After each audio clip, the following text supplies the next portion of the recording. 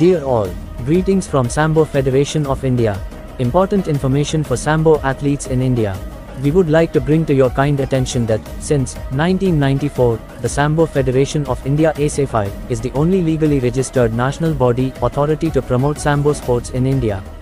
The Sambo Federation of India and its legally affiliated state units, associations have been regularly conducting national and state level championships every year. Since 1994, Indian Sambo athletes have represented and brought laurels to the nation in Asian Sambo Championships, World Sambo Championships, World Sambo Cups, Asian Beach Games, Asian Indoor and Martial Arts Games.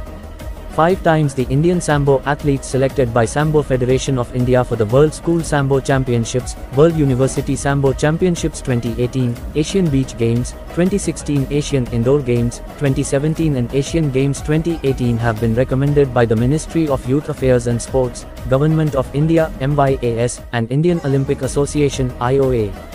Sambo Federation of India has also organized the international megavent IE. Asian Sambo Championships 2019 in which athletes and officials of more than 20 countries participated.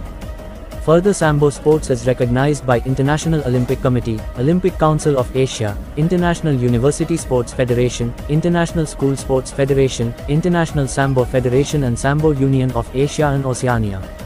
The case of Sambo Federation of India SFI for the recognition and affiliation to Ministry of Youth Affairs and Sports, Government of India MYAS, and Indian Olympic Association IOA is under consideration.